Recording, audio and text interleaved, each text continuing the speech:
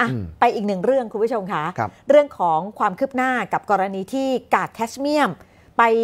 อยู่ที่จังหวัดสมุทรสาครจำนวนมากครับๆแล้วไปอยู่ในโกดัง แต่ว่ามันก็มีบางส่วนค่ะที่มันเล็ดลอดออกมาจำได้ไหมคะเมื่อวานเรานำเสนอข่าวกันไป บอกว่าพื้นที่นี้ถูกประกาศเป็นเขตภัยพิบัติกันไปเพราะว่า มันอันตรายอะสารเคมีมันก่อมะเร็งอะค่ะครับอืมแต่ไม่ถึงขนาดนั้นนะฮะเออพอเพราะสุดท้ายวันนี้เขาชี้ครับแจงแล้วนะไม่ถึงขนาดนั้น คือถ้าประกาศเป็นพื้นที่ภัยพิบัติเนี่ยมันจะมีปัญหาหลายอย่างตามค่ะมาแต่ว่าเป็นพื้นที่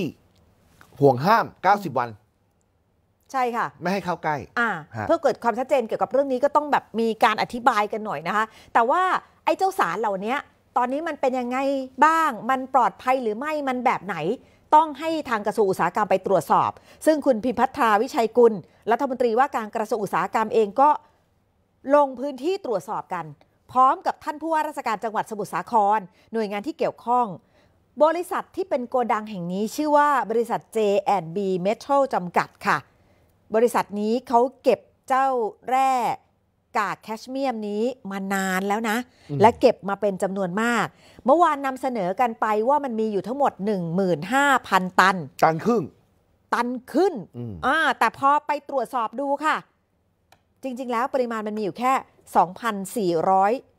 2,440 ตันเท่านั้นอืมแล้วมันหายไปไหนอะคือจากต้นทางอะ จากต้นทางอะเขาบอกว่าออกมาเท่านี้ไงอ่าออกมาหมื่นห้านะแล้วแล้วตอนนี้ล่าสุดรู้สึกว่าที่ที่ตากอาจจะมีปัญหาแล้วนะค่ะ เพราะว่าแคสเมียมเนี่ยเขาห้ามเคลื่อนย้ายไง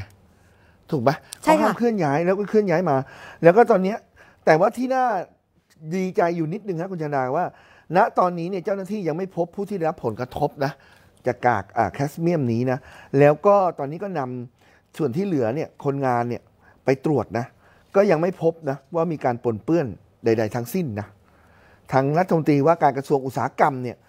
ก็ชี้แจงเลยว่าเหตุการณ์เนี้ยกระทรวงอุตสาหกรรม จังหวัดสมุทรสาครเนี่ย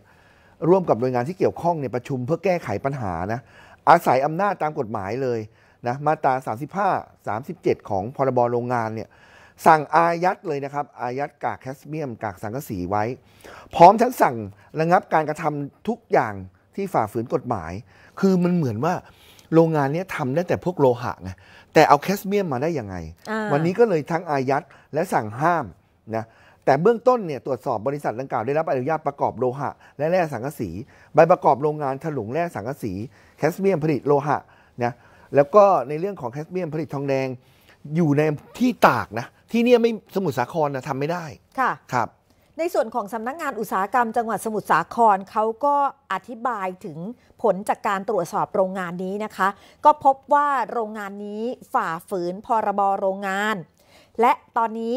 อายัดกากแคดเมียมกับกากสังกะสีไปส่วนหนึ่งก็เพื่อรอการตรวจสอบ แต่คำถามที่หลายคนสงสัยก็คือว่า ไอในส่วนของพื้นที่อำเภอเมืองตากจังหวัดตาก ที่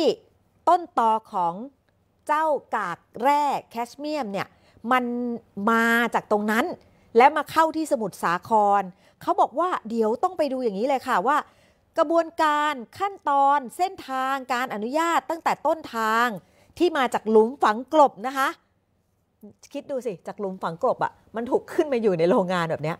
และที่สำมันคัญยังไงอะ่ะตอนออกมาเนี่ยบอกออกมาตันครึ่งนะค่ะหนึ่งหมื่นห้าพันหนึ่งหมื่นห้าพันกิโลนะค่ะเอ่อแต่วันเนี้ยตรวจแล้วมันมันหลักพันเองใช่ไหม ตอนเนี้ยเหลือแค่ 2,440 ตันอืมการส่งย้ายการเคลื่อนย้ายจากจังหวัดตาก มายังจังหวัดสมุทรสาครทำได้อย่างไร ตอนนี้กำลังอยู่ระหว่างการตรวจสอบจากหน่วยงานที่เกี่ยวข้อง จริง ๆเขาตรวจสอบไปบ้างแล้วนะคะครับแต่พอนักข่าวไปถามเนี่ยทางเจ้าหน้าที่ที่เกี่ยวข้องบอกว่า ยังไม่สามารถเปิดเผยรายละเอียดได้นะ เอาเป็นว่าเดี๋ยวถ้าทราบข้อมูลที่ชัดเจนก่อน เดี๋ยวจะมาบอกคือที่ไม่สามารถเปิดเผยรายละเอียดได้ชัดเจนเนี่ยเพราะอะไรรู้ไหมคะ คุณอิทธิพันธ์คุณผู้ชม ถ้าทราบว่าเส้นทางในการเดินทางของเจ้าแคชเมียมเนี่ยไอกากแร่เนี่ยมันมายังไง นั่นหมายความว่าตลอดเส้นทางของการเดินทางที่ไม่รู้ว่าไปแพะพักแวะที่ไหนยังไงอะ่ะมันคืออันตรายนะ ถ้าผมนะ อันตรายก็ต้องบอกสิ จะได้หลีกเลี่ยงไงค่ะ จะได้หลีกเลี่ยงไงอ่าต้องบอกนะ ต้องบอกแต่ทีนี้อาจต้องบอกก็จริง แต่ความตื่นตระหนกไง ก็มันก็เหรียญสองด้านอีก ไม่อืมบอกก็อ้าวปิดบังข้อมูลหรือเปล่า แต่ถ้าบอกไปแล้วเดี๋ยวจะเกิดความตื่นตระหนกกันหรือเปล่า แต่ไม่เป็นไร เอาเป็นว่าเขาสอบกันอยู่ ขอให้เชื่อมั่นในเจ้าหน้าที่ แล้วเดี๋ยวไอ้เจ้ากากแร่แคชเมียมที่มันอยู่ในโกดังแห่งนี้ จะขนย้ายกลับไปต้นทาง กลับไปที่จังหวัดตากเอกถามคนตากก็ยัง จะเอาไปให้หมดทั้งภายใน 7 วันนี้นะคะ อะอะที่ต้องว่าให้ 7 วันเพราะอะไร เพราะว่า ต้องกลับไปอยู่ในที่ฝังกลบ คือตรงนั้นมันปลอดภัยกว่าอ๋อมันเป็นแหล่งผังกบเออมันไม่ควรจะออกมา ใช่ที่ครับตอนแรกอะคือเขาคาดการณ์กันว่าเดี๋ยวจะเอาออกมาจะเอามาหลงมาหลอมไงคะแต่มันทำไม่ได้ สุดท้ายทำไม่ได้เอามาตั้งวางไว้อย่างนี้ โอ้ล่าสุดนะฮะล่าสุด ล่าสุดมีเสียงรัฐมนตรีให้ฟังกันด้วยค่ะครับ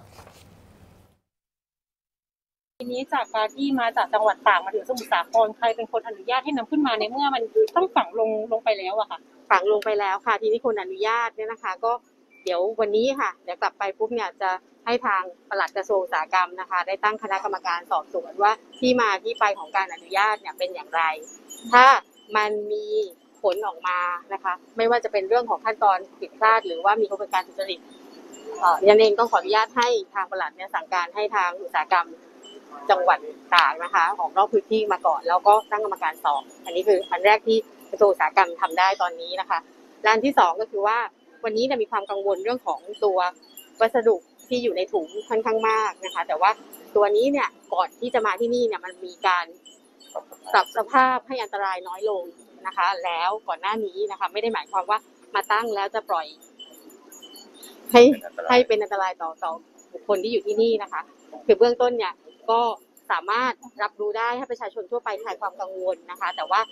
ความกังวลทั้งหมดเนี่ยเข้าใจดีว่าพี่น้องประชาชนพอรับทราบข่าวไปเนี่ยกังวลแน่นอน วันนี้ฉันก็มาแล้วก็หน่วยงานที่เกี่ยวข้องก็มาคลายความกังวลว่าอย่างน้อยๆเนี่ยมันไม่ได้เป็นอย่างที่พี่น้องประชาชนคิดนะคะ เรื่องของกระบวนการที่มาของใบอนุญาตเดี๋ยวตรวจสอบให้ แล้วก็เบื้องต้นก็ต้องขอให้ทางปลัดให้อุตสาหกรรมจังหวัดตากมาช่วยราชการก่อนค่ะ ครับ ล่าสุดนะฮะ ปลัดกระทรวงอุตสาหกรรมก็สั่งย้ายอุตสาหกรรม จังหวัดตากเข้ามาช่วยราชการเรียบร้อยแล้ว ค่ะ ก็ครับถือว่าไม่รับผิดชอบกับสิ่งที่เกิดขึ้นนะครัคะบรอตรวจสอบกันต่อไปนะคะ